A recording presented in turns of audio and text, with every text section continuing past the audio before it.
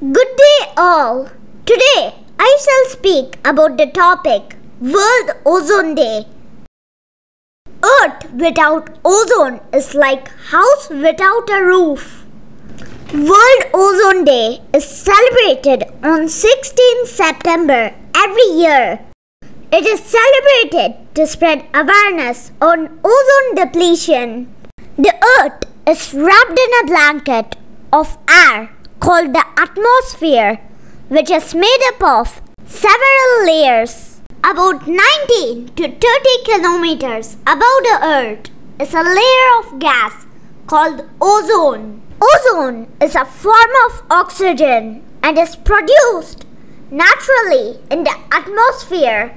The ozone layer is very important because it stops too many of the sun's ultraviolet rays getting through to the earth. Too much UV can cause skin cancer and will also harm all plants and animals.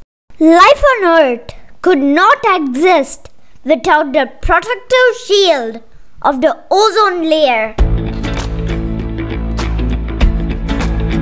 As we know, ozone is a gas made up of molecules that are formed by three oxygen atoms.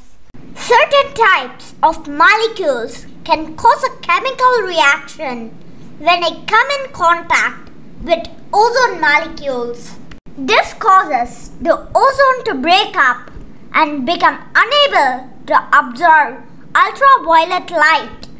The main molecules that are destroying the ozone layer are called chlorofluorocarbons or CFCs. The CFCs are used in air conditioners, old refrigerators, fire extinguishers, spray cans. Unfortunately, CFCs can eventually find their way into the Earth's atmosphere and the ozone layer. Once they get there, they destroy ozone molecules and cause the ozone layer to become depleted or thinner. The ozone layer is like a sunscreen, and the thinning of it would mean that more ultraviolet rays would be reaching us.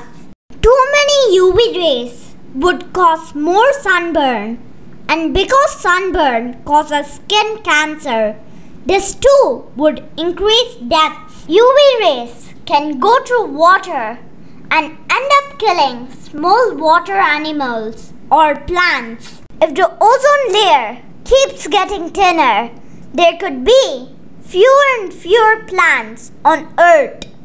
Then there would be less food in the whole world. How can we protect the ozone layer? Avoid the consumption of gases dangerous to the ozone layer. Minimize the use of cars. Do not use cleaning products that are harmful to the environment and to us. Buy local products. Maintain air conditioners. On this day, let's take a promise to save the ozone layer by taking care of our Mother Earth. Happy Ozone Day! Thank you and stay responsible.